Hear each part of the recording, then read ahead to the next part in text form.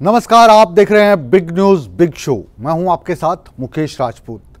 Big news big show में आज भी उन तमाम बड़ी खबरों का हम विश्लेषण करेंगे जिनका सरोकार आपसे है। बिग न्यूज़ बिग शो में बात होगी लोकसभा चुनाव की।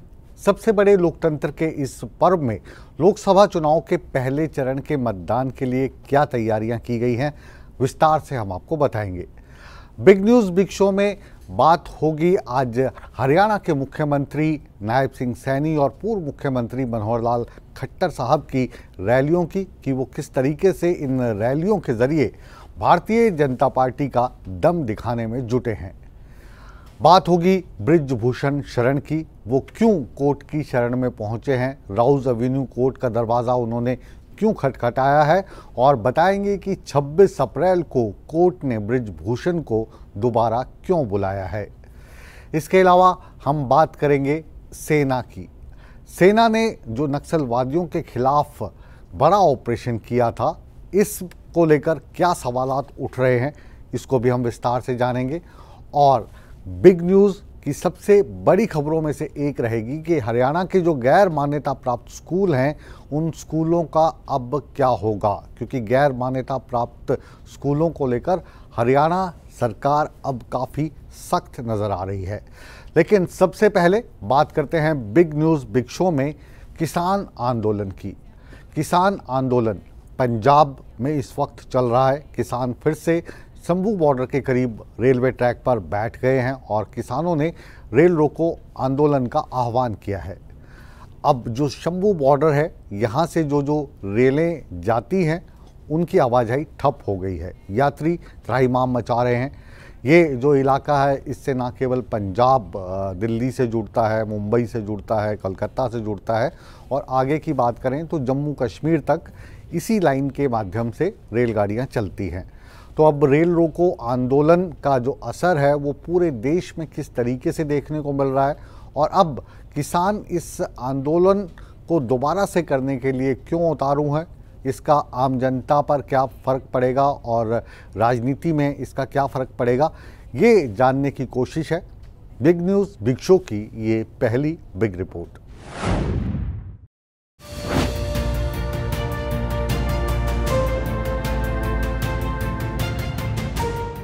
पंजाब में किसानों का रेल रोको आंदोलन जारी है। किसान पंजाब में शंभू रेलवे स्टेशन पर बैठे हैं, जिससे अमृतसर दिल्ली और दिल्ली अमृतसर रेल मार्ग बंद है। इन तस्वीरों में आप देख सकते हैं कि किसान आंदोलन के चलते अंबाला कैंट रेलवे स्टेशन पर यात्री परेशान हैं। यात्री स्टेशन पर ही दो दिन से फंसे हैं और स्टेशन पर ही आराम करते दिख रहे हैं। यात्रियों को रेलवे स्टेशन पर ही अपने सामान के साथ सोते देखा जा सकता है। रेल यात्रियों का कहना है सरकार और किसानों की लड़ाई में वो पिस रहे हैं। उन्होंने सरकार से इस ओर ध्यान देने की गुजारिश की। सर कल चार बजे से बैठे हुए हैं। हम्म, ट्रेन आ नहीं रहा है। वहाँ से पूछताछ में जाते हैं। तो बोलते हैं कि ट्रेन का कोई सुविधा ही नहीं है। हम बोले आज शाम तक ले हो शाम तक ट्रेन है कि नहीं है? हाँ। और बोलता है कि जो ट्रेन आएगी कि नहीं आएगी मेरा पता नहीं है। हाँ। इसके बाद हम क्या करें? अम्बाला स्टेशन पे कहीं दो दिन से गाड़ियाँ बंद पड़ी हैं जिससे हमारे कामकाज को बहुत ज़्यादा फ़र्क पड़ रहा है और यहाँ पे काफ़ी पब्लिक फंसी पड़ी है और कहीं सवारी मतलब जो छोटे बच्चे हैं उनको काफ़ी परेशानी हो रही है। इस चीज़ के बारे में मतलब मेरी यही गुजारिश है इस समस्या का हल किया जाए जल्दी। वहीं रेल विभाग पंजाब सरकार की तरफ़ देख रहा है कि वे कब किसानों को ट्रैक से हटाएँगे। अंबाला रेल मंडल से तेरह ट्रेनें रद्द कर दी गई हैं। छह ट्रेनें बीच रास्ते में रद्द करनी पड़ी है। रेलवे के पिचासी ट्रेनों के रूट बदल दिए हैं। रेलवे का कहना है आंदोलन लंबा चला तो जम्मू कश्मीर में तेल की सप्लाई में दिक्कत आएगी।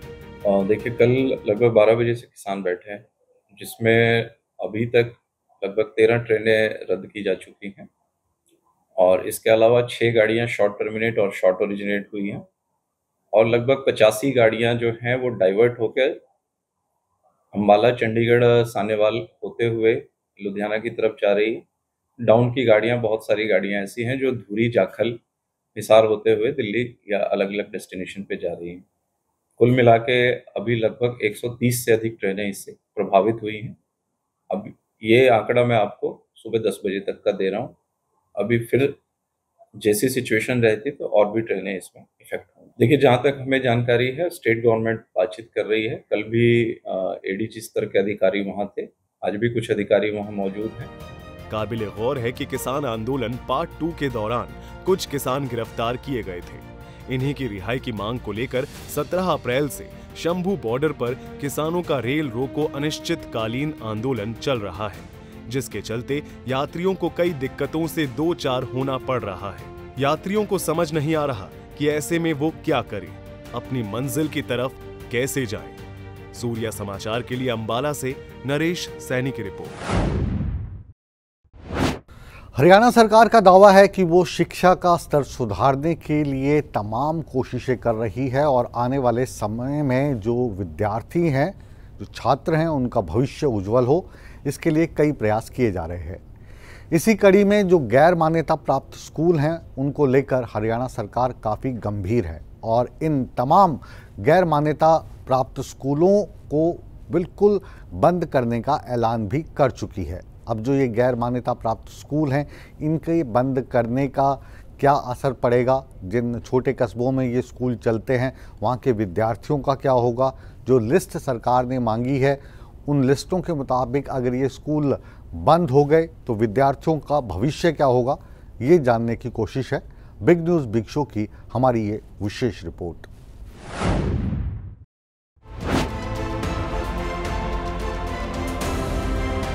हरियाणा में शिक्षा के स्तर को बेहतर बनाने के लिए प्रदेश सरकार लगातार कार्य कर रही है। शिक्षा में सुधार के लिए सरकार ने प्रदेश में गैर मान्यता प्राप्त स्कूलों को बंद करने का ऐलान कर चुकी है। एक अप्रैल से प्रदेश में गैर मान्यता प्राप्त स्कूलों को प्रवेश की अनुमति नहीं है। अब सरकार ने इस ओर सख्ती करते हुए क्लस्टर स्तर पर टीमों का गठन कर रही है। कनीना स्कूल बस हादसे के बाद अब सरकार बड़े एक्शन में नज़र आ रही है। प्रदेश में अब गैर मान्यता प्राप्त स्कूलों को बंद करने की कवायद सरकार ने तेज कर दी है। हरियाणा शिक्षा विभाग ने ऐसे स्कूलों पर सख्ती करने के आदेश जारी किए हैं। ये आदेश प्रदेश के सभी जिला शिक्षा अधिकारियों को जारी किया गया है। हरियाणा शिक्षा विभाग की ओर से सभी जिलों से गैर मान्यता प्राप्त स्कूलों की रिपोर्ट मांगी गई है। गैर मान्यता प्राप्त स्कूलों पर सख्ती, हरियाणा शिक्षा विभाग ने जारी किए आदेश। गैर मान्यता प्राप्त स्कूलों की मांगी गई रिपोर्ट। सभी जिला अधिकारी और मौलिक शिक्षा अधिकारी से मांगी गई रिपोर्ट। गैर मान्यता प्राप्त स्कूलों के एमआईएस पोर्टल को बंद करने के आदेश। एमआईएस पोर्टल पर मौजूद मान्यता प्राप्त और गैर मान्यता प्राप्त स्कूलों की मांगी गई लिस्ट। हरियाणा शिक्षा विभाग की ओर से ऐसे स्कूल जो बिना मान्यता के चल रहे हैं, उन पर सख्ती करने के भी आदेश दिए गए हैं। शिक्षा विभाग ने एक पत्र जारी करते हुए जिला शिक्षा अधिकारी और मौलिक शिक्षा अधिकारी से मान्यता प्राप्त और गैर मान्यता प्राप्त स्कूलों की लिस्ट मांगी।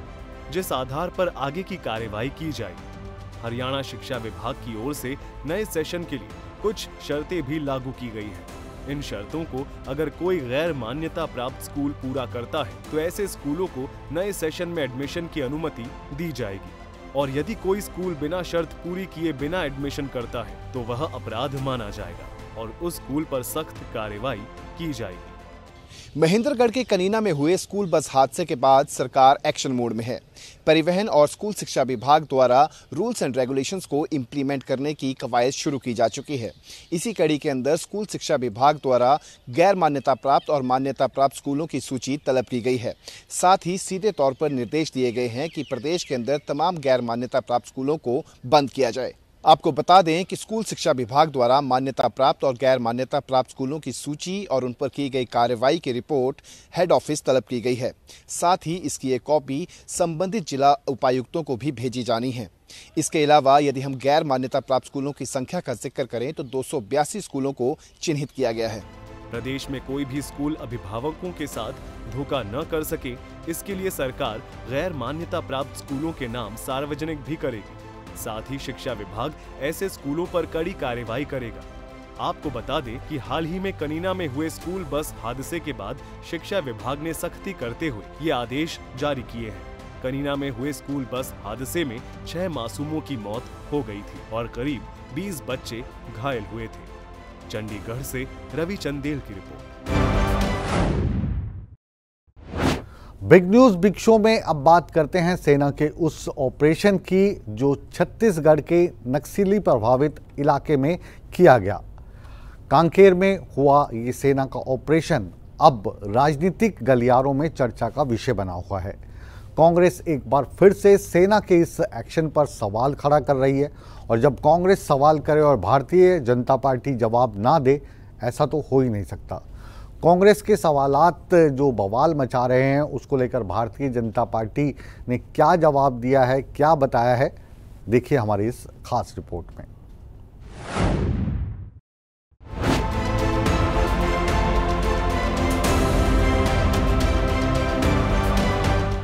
छत्तीसगढ़ में पहले चरण की वोटिंग से ठीक पहले एक बड़ा नक्सली ऑपरेशन किया गया, जिसमें कांकेर के दक्षिण और नारायणपुर के उत्तर इलाके में बीएसएफ के जवानों ने नक्सलियों के गढ़ पर धावा बोला। पलक झपकते ही बीएसएफ जवानों ने एक के बाद एक नक्सलियों के टॉप लीडर्स को उन्हीं के ठिकाने पर लिटा दिया। बीएसएफ की इस कार्रवाई में 29 नक्सलियों के मारे जाने की सूचना लेकिन अब इस नक्सली हमले को लेकर सियासत शुरू हो गई है।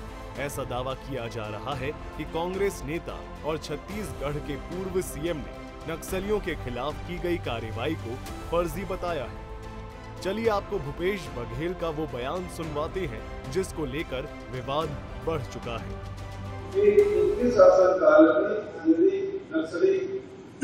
घटना हुई और उन्होंने नक्सलियों को पकड़ा या समूचा उससे भरमार बंदूक ही के जब्ती बनाते थे।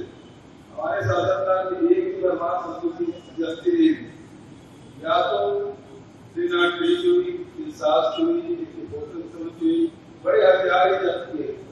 और बड़े नक्सली या तो सरेंडर किए या मारे तो हम लोगों ने फर्जी इनकाउंटर नहीं हमारे शासन काल में कोई फर्जी इनकाउंटर नहीं बल्कि भारतीय जनता पार्टी शासन काल में फर्जी इनकाउंटर होता रहा।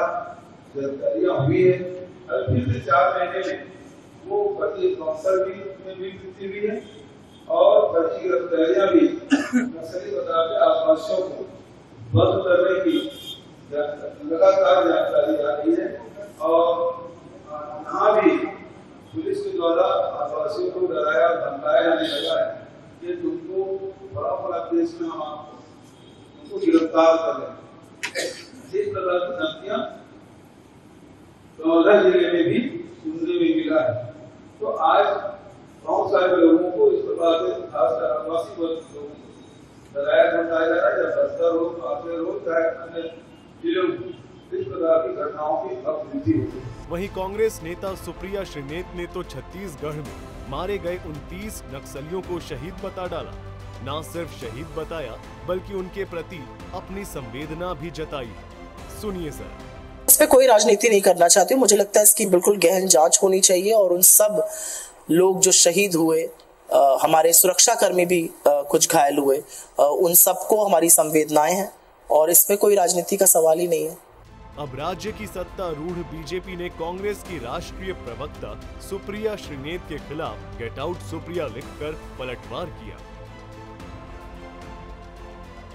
जिन नक्सलियों ने छत्तीसगढ़ महतारी की धरती को निर्दोष छत्तीसगढ़ियों के खून से लाल किया है ऐसे बर्बर नक्सलियों को शहीद बताकर छत्तीसगढ़ की जनता, पुलिस बल और लोकतंत्र का मज़ाक बनाने वाली कांग्रेस की राष्ट्रीय प्रवक्ता सुप्रिया श्रीनेत आपका आगमन इस पावन धरती को स्वीकार्य नहीं है। छत्तीसगढ़ के उप मुख्यमंत्री अरुण साव ने भी सुप्रिया के बयान पर पलटवार किया और कहा कि नक्सलियों को शहीद मानने वाली कांग्रेस ने पाँच साल बस्तर में इसी मानसिकता से काम किया है। मुठभेड़ में मारे गए नक्सलियों को शहीद कहकर कांग्रेस पार्टी ने लोकतंत्र पर प्रहार किया है। ये देश के सुरक्षा बलों पर प्रहार किया है। देश के सुरक्षा बलों के बहादुरी पर प्रहार है। ये छत्तीसगढ़ और बस्तर की जनता पर प्रहार है। ये बहुत ही शर्मनाक बयान है। अब सवाल यही है कि क्या इस संवेदनशील मसले पर भी ये सबूत वाली सियासत जायज़ है। ये चुनावी वक्त है। छोटी से छोटी बात का बड़ा मुद्दा बनता है। इस दौर में ना दावे, न ही आरोप नए।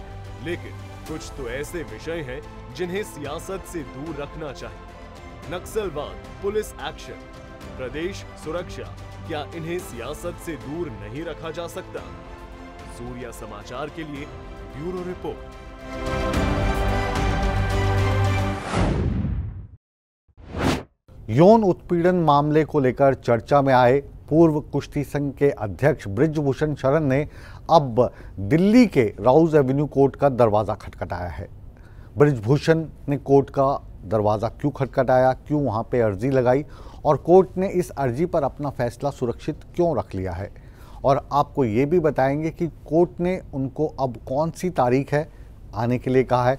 और ब्रिजभूषण सिंह को ये जो उन्होंने अर्जी लगाई है, दरवाज़ा खटखटाया है, इससे उनको राहत मिलने वाली है या फिर आफत? इस रिपोर्ट के ज़रिए जानते हैं।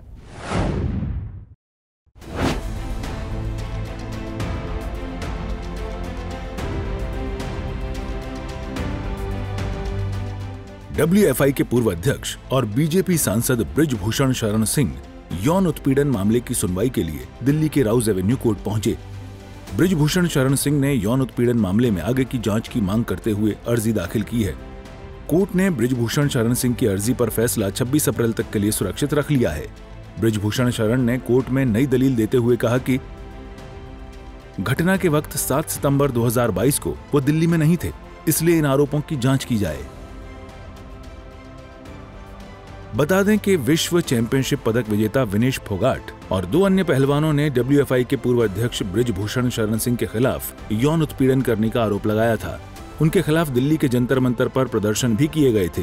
दिल्ली पुलिस ने ब्रिजभूषण के खिलाफ मामला दर्ज किया था, लेकिन जुलाई में स्थानीय कोर्ट से जमानत मिल गई। भारतीय कुश्ती संघ के पूर्व अध्यक्ष ब्रिजभूषण शरण ने दिल्ली के राउस एवेन्यू कोर्ट में एक अर्जी लगाई है। अर्जी में कहा है कि उनके ऊपर जो आरोप लगे हैं, उसके कुछ बिंदुओं पर और आगे जाँच कराई जाए। ब्रिजभूषण शरण ने यह अर्जी तब लगाई है जब कोर्ट ने उनके खिलाफ लगे आरोपों पर फैसला सुरक्षित रखा हुआ है। वहीं जब ब्रिजभूषण से इस बारे में सवाल किया गया कि बीजेपी का टिकट क्या उन्हें मिलेगा इसमें देरी क्यों हो रही है इस पर ब्रिजभूषण सिंह ने रामचरितमानस की एक चौपाई को दोहरा दिया। उन्होंने कहा कि हो ये वह जो राम रच राखा वही है वही जो राम रच राखा परेशान हो आप वही है वही जो राम रच राखा काहे परेशान बता दें कि दो दिन पहले ही बीजेपी ने देवरिया से अपने प्रत्याशी के नाम का ऐलान कर दिया था, लेकिन कैसरगंज सीट को लेकर अभी तक पत्ते नहीं खोले हैं।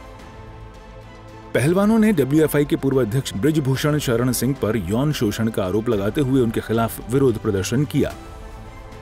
अभी ये मामला कोर्ट में चल रहा है। इसी वजह से बीजेपी फ़िलहाल इस सीट से किसी भी प्रत्याशी के नाम का ऐलान करने में जल्दबाजी नहीं दिखा रही है। हालाँकि, कुछ ऐसी भी चर्चाएँ हैं कि ब्रिजभूषण की पत्नी को बीजेपी टिकट दे सकती है। चलिए आपको बताते हैं कि 2019 के इलेक्शन में किसने कैसरगंज से बाजी मारी। 2019 के लोकसभा इलेक्शन की बात करें तो यहाँ पर मुकाबला एक तरफा हुआ था। चुनाव में भारतीय जनता पार्टी की तरफ़ से ब्रिजभूषण शरण सिंह मैदान में उतरे थे। वहीं बहुजन समाज पार्टी ने चंद्रदेव राम यादव को टिकट दिया था। इलेक्शन में बसपा और समाजवादी पार्टी का गठबंधन था। ब्रिजभूषण शरण सिंह को पाँच लाख इक्यासी हज़ार तीन सौ अट्ठावन वोट मिले तो चंद्रदेव राम यादव के खाते में तीन लाख उन्नीस हज़ार सात सौ सत्तावन वोट आए थे। कांग्रेस की स्थिति काफ़ी नाजुक रही और पार्टी के विनय कुमार पांडे को महज सैंतीस हज़ार एक सौ बत्तीस वोट मिले थे। चुनाव में ब्रिजभूषण शरण सिंह ने दो लाख इकसठ हज़ार छह सौ एक के वोटों के अंतर से अपने प्रतिद्वंदी से जीत हासिल की थी। ब्रिजभूषण शरण की इस नई अर्जी पर राउज एवेन्यू कोर्ट अब 26 अप्रैल को सुनवाई करेगा। ब्रिजभूषण शरण पे लगे आरोपों का फैसला इस अर्जी पर सुनवाई के बाद ही कोर्ट द्वारा सुनाया जाएगा। काबिल गौर है कि कैसरगंज लोकसभा सीट पर पांचवे फ़ेज़, यानी 20 मई को वोटिंग होनी है। यहाँ 26 अप्रैल से नामांकन शुरू होगा। देखने वाली बात होगी कि ब्रिजभूषण को इस बार बीजेपी चुनावी मैदान में उतारती है या फिर किसी और को मौका देती है। साथ ही ये भी देखना होगा कि ब्रिजभूषण को 26 अप्रैल को राहत मिलती है या नहीं। सूर्य समाचार के लिए दिल्ली से विनय सिंह की रिपोर्ट।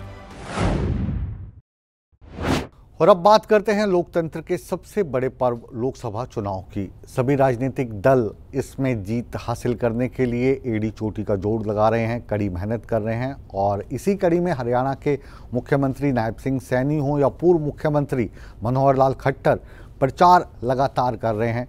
एक जगह से दूसरी जगह पर रैलियों के माध्यम से जनता से वोट मांग रहे हैं और अपनी सरकार की उपलब्धियाँ गिनवा रहे हैं। अब भारतीय जनता पार्टी जिस तरीके से रैलियों पर ज़ोर दे रही है, उससे आने वाले समय में क्या वाकई दस की दस सीटें भारतीय जनता पार्टी के खाते में आएँगी? क्योंकि एक दिन में तीन से चार रैलियाँ की जा रही हैं जो बड़े नेता हैं। अब देखना ये होगा कि जनता को वो कितना लुभा पाते हैं। आज पूरे दिन इन दो बड़े नेताओं ने कहाँ कहाँ पे रैलियाँ की, वोट मांगे, अपनी सरकार की उपलब्धियाँ गिनवाई। देखिए हमारी ये विशेष रिपोर्ट।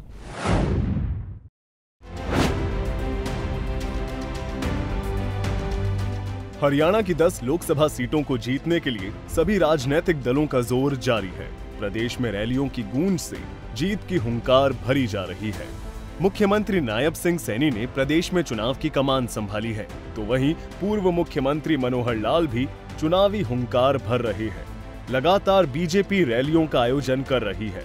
रैलियों के मंच से 400 पार नारे के साथ प्रधानमंत्री नरेंद्र मोदी की हैट्रिक का दावा किया जा रहा है। इसी कड़ी में फरीदाबाद के पृथला में बीजेपी की ओर से विजय संकल्प रैली का आयोजन किया गया। इस रैली में मुख्यमंत्री नायब सिंह सैनी ने रैली को संबोधित किया। पृथला में हुई रैली में बीजेपी का कुनबा भी बढ़ा। पूर्व विधायक चंद्र भाटिया के बेटे रोहित भाटिया ने मंच पर बीजेपी का दामन थामा। रैली को संबोधित करते हुए मुख्यमंत्री नायब सिंह सैनी ने बीजेपी को किसान हितैषी पार्टी बताया। भाइयों, जिस व्यक्ति ने पिछले दस वर्षों में लगातार देश के किसान के लिए देश की महिलाओं को सशक्तिकरण के लिए देश के युवाओं को मजबूती के लिए और भाइयों गरीब के चेहरे पर मुस्कान आए इसके लिए दिन रात करके इस देश को आगे बढ़ाने का काम किया है। देश में हरियाणा का ऐसा कोई कोना नहीं है जहाँ विकास नहीं हुआ हो। आज मैं देखता हूँ, इन दस वर्षों में एक भी जिला ऐसा नहीं है जिस जिला के अंदर इन दस वर्षों में फोर लाइनिंग रोड, भाइयों, लोगों के रास्तों को सुगम करने का काम ये नरेंद्र मोदी की और डबल इंजन की सरकार ने किया है। फरीदाबाद पहुँचे मुख्यमंत्री नायब सिंह सैनी ने कांग्रेस पर भी जमकर निशाना साधा। मुख्यमंत्री नायब सिंह सैनी ने बीजेपी के संकल्प पत्र से कांग्रेस में बौखलाहट की बात कही। लगातार नरेंद्र मोदी जी ने भाइयों देश को आगे बढ़ाने का काम किया है। आज मैं जब देखता हूँ कांग्रेस इन सब कामों को लेकर के भाइयों वो खड़ा रही है आज कांग्रेस का जो पचपन साठ वर्षों का सालों में जो नहीं कर पाए आज कांग्रेस को इस बात की पीड़ा है कि नरेंद्र मोदी जी ने उन कामों को दस वर्षों के अंदर कर दिया है और भाइयों मैं बताना चाहूँगा कि अभी भारतीय जनता पार्टी ने जो संकल्प पत्र भाइयों लेकर के आए हैं जो मोदी की गारंटी का संकल्प है आज ये विपक्ष के घमंडिया गठबंधन के लोग भाइयों आज उसको लेकर के बौखड़ाहट के अंदर हैं आज उनको मालूम है कि ये संकल्प पत्र में जो मोदी की गारंटी है, उसको 100 परसेंट पूरा करेंगे। हरियाणा के पूर्व मुख्यमंत्री मनोहर लाल ने भी प्रदेश में चुनाव प्रचार की कमान संभाल रखी है। करनाल से लोकसभा उम्मीदवार बनाए जाने के बाद मनोहर लाल लगातार प्रदेश में रैलियाँ कर रहे हैं।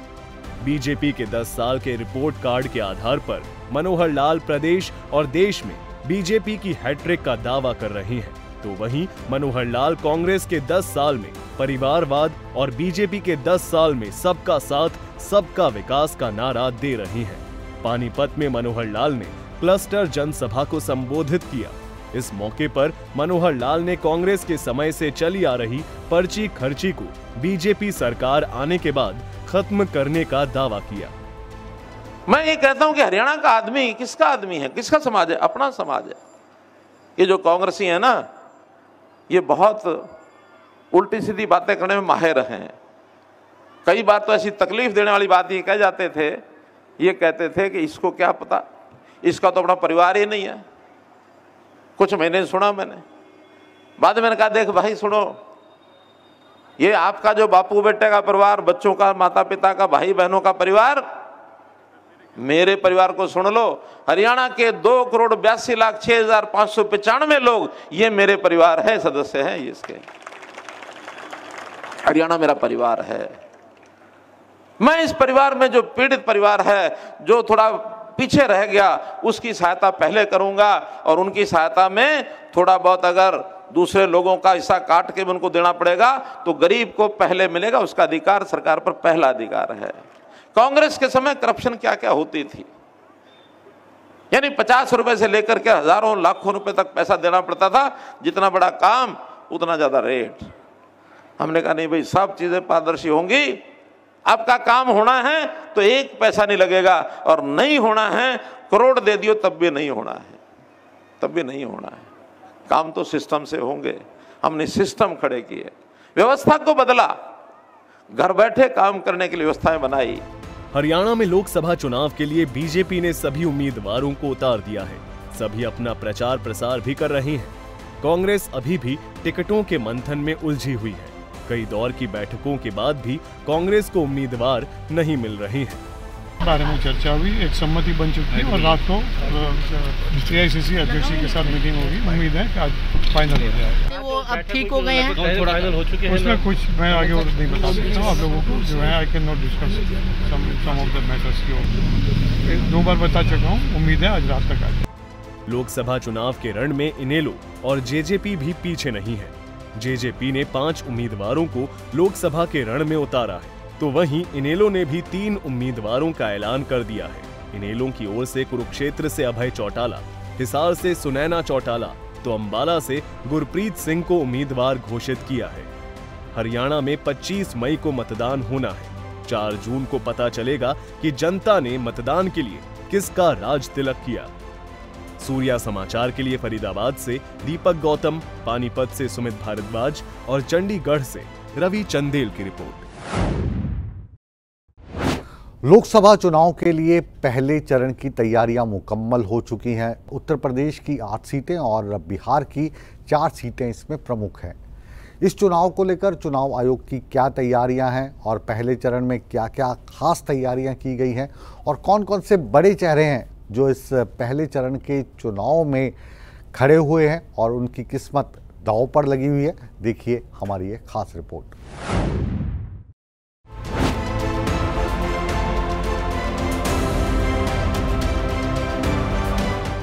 लोकसभा चुनाव के पहले चरण के मतदान की तैयारियाँ मुकम्मल हो चुकी हैं। इस चरण में 21 राज्यों और केंद्र शासित प्रदेशों की 102 लोकसभा सीटों के लिए शुक्रवार को वोटिंग होगी। चलिए आपको बताते हैं कि किन राज्यों की कौन सी सीटों पर पहले फ़ेज़ के तहत चुनाव होने हैं। उत्तर प्रदेश की सहारनपुर, कैराना, मुजफ्फरनगर, बिजनौर, नगीना, मुरादाबाद, पीलीभीत और रामपुर सीट। राजस्थान के गंगानगर, बीकानेर, चूरू, झुंझुनू, सीकर, जयपुर ग्रामीण, जयपुर, अलवर, भरतपुर, करौली, धौलपुर, दौसा और नागौर में मतदान होना है। मध्य प्रदेश की सीधी, शहडोल, जबलपुर, मंडला, बालाघाट और छिंदवाड़ा में मतदान। असम के काजीरंगा, सोनितपुर, लखीमपुर डिब्रूगढ़ और जोरहाट में मतदान। बिहार के औरंगाबाद, गया, नवादा और जमुई में मतदान। महाराष्ट्र के रामटेक, नागपुर, भंडारा गोंडिया, गढ़चिरौली चिमू चंद्रपुर। छत्तीसगढ़ के बस्तर में पहले चरण के तहत वोट डाले जाएँगे। जम्मू कश्मीर के उधमपुर में मतदान होगा। अरुणाचल प्रदेश के अरुणाचल पश्चिम, अरुणाचल पूर्व सीट पर वोटिंग होगी। मेघालय के शिलोंग और तुरा में मतदान होगा। त्रिपुरा की त्रिपुरा पश्चिम सीट पर मतदान। तो वहीं उत्तराखंड की टिहरी गढ़वाल गढ़वाल, अल्मोड़ा, नैनीताल उधम सिंह नगर और हरिद्वार में वोट डाले जाएँगे।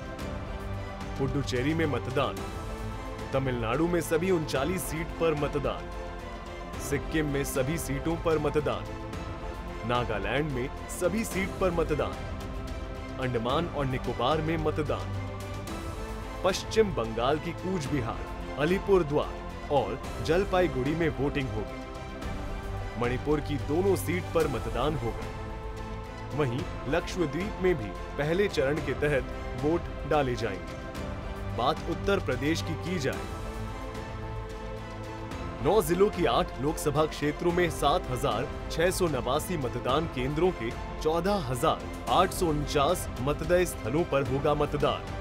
पीलीभीत के अंतर्राष्ट्रीय सीमा प्रभावित क्षेत्र में 11 बैरियर लगाकर चेकिंग। सहारनपुर, शामली, मुरादाबाद, बिजनौर, रामपुर, मुजफ्फरनगर पीलीभीत के अंतर्राज्यीय सीमा पर अट्ठासी बैरियर लगाकर चेकिंग। प्रदेश के सभी जिलों में 2,366 बैरियर लगाए गए। अंतर्राष्ट्रीय और अंतर्राज्यीय सीमा पर लगे बैरियर पर अतिरिक्त सीसीटीवी कैमरे लगाए गए। 6,018 निरीक्षक उप निरीक्षक और 35,750 मुख्य आरक्षी चौबीस हज़ार नौ सौ बानवे होम गार्ड्स साठ कंपनी पीएसी बल और 220 कंपनी सीएपीएफ बल की गई तैनात। अतिरिक्त फोर्स मल्टीप्लायर के रूप में 6,764 ग्राम चौकीदार और 155 पीआरडी जवान भी लगाए गए। पहले चरण के चुनाव में 348 फ्लाइंग स्क्वाड टीम चार स्टैटिक सर्विलेंस टीम और 55 क्यूआरटी टीम बनाई गई। प्रदेश में कुल 1,824 flying squad team 1,470 static surveillance team और चार क्यूआरटी टीम का गठन किया गया। सोशल मीडिया पर विशेष नज़र रखी जा रही है। प्रथम चरण में हमने कुल 111 मॉडल पुलिस स्टेशन आदर्श मध्य स्थल बनाए हैं। पैंतालीस समस्त महिला प्रबंधित मध्य स्थल है, जिसमें सारे कर्मचारी महिला कर्मचारी होंगी। 36 युवा कर्मी मध्य स्थल और 32 समस्त दिव्यांग कर्मी मध्य स्थल बनाए गए हैं। मध्य स्थलों पर जो भी मतदाता शाम छः बजे तक उपस्थित होंगे, उनको मताधिकार का प्रयोग उनके द्वारा किया जा सकेगा, उनको पर्चियाँ वितरित की जाएँगी। भारत निर्वाचन आयोग द्वारा वोटर इन्फॉर्मेशन स्लिप्स सभी निर्वाचकों को वितरित करा दी गई है और प्रथम चरण में एक करोड़ बयालीस लाख छियानवे हज़ार आठ सौ बावन निन्यानवे दशमलव दो सात प्रतिशत वोटर स्लिप वितरित हो गई। मतदाताओं की सुविधा के लिए प्रत्येक घर में एक वोटर गाइड का वितरण किया गया है। प्रथम चरण के जनपदों में अट्ठाईस लाख चवालीस हज़ार नौ सौ तिरपन वोटर गाइड्स हमने वितरित की हैं। प्रथम चरण के जनपदों में 27 अक्टूबर 2023 से जब हमारा स्पेशल समरी रिवीजन प्रारंभ हुआ था और 16 अप्रैल 2024 तक कुल ग्यारह लाख उन्यासी हज़ार इक्यावन मतदाता फ़ोटो पहचान पत्र, जिसको एपिक कहते हैं, उनका वितरण कराया गया है। मतदान प्रतिशत की जानकारी 9 बजे के बाद प्रत्येक दो दो घंटे पर आ, मीडिया को प्रेषित की जाएगी। उसके अतिरिक्त वोटर टर्नआउट ऐप अवेलेबल है जिसको अगर हम डाउनलोड करेंगे उसमें भी जो आधिकारिक मतदान प्रतिशत है हर दो घंटे के बाद डाउनलोड उसको आप अपने मोबाइल पे देख सकते हैं। पहले चरण में जिन केंद्रीय मंत्रियों का सियासी भविष्य ईवीएम में कैद हो जाएगा उनमें नितिन गडकरी किरण रिजिजू सर्बानंद सोनोवाल, संजीव बालिया, जितेंद्र सिंह, भूपेंद्र यादव, अर्जुन राम मेघवाल और एल मुरुगन शामिल हैं। बहरहाल, पहले चरण के चुनाव प्रचार के दौरान पार्टियों के नेताओं में जुबानी शब्द बाण खूब चले, लेकिन अब फैसला जनता जनार्दन का होगा, जिसके लिए सभी पार्टियों को 4 जून का इंतज़ार करना होगा। सूर्या समाचार के लिए ब्यूरो रिपोर्ट।